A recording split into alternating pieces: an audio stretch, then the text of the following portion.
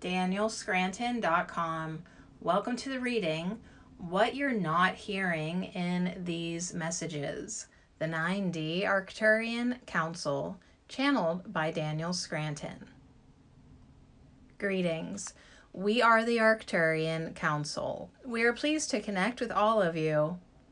We are infinite and eternal beings, and we hold that knowing within us all the time. You may think about it from time to time and admit to yourselves that you are infinite and eternal, but it is not a part of your moment to moment awareness as it is for us. And so when you connect to us directly or through these transmissions, you are getting that gentle reminder. You are becoming more aware of the truth of who you really are and what you are made up of when you receive a transmission from us. There are many intentions woven into each of these transmissions. There are lots of reminders that you are getting that are not in the words being spoken. We invite you to pay attention to how you feel when you absorb any content, any information whatsoever. If it gives you that expansive feeling, then you know that it serves you. But if it causes you to contract or feel fear, then it does not serve you. You don't have to judge anything that causes that visceral response within you, but you do want to walk away from it.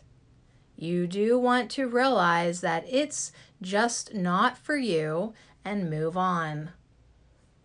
Now, as you continue on with your journey home to Source, you will have more and more moments when you have that full recognition of self and you will feel infinite and eternal. You will realize that you are everything that you seek, everything that you see, and everything that you create. And you will not feel worried or fearful about anything at all.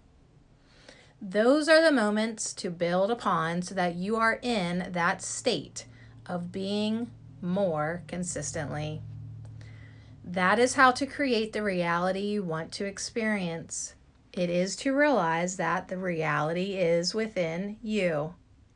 Nothing is outside of you, and therefore, nothing is inaccessible to you.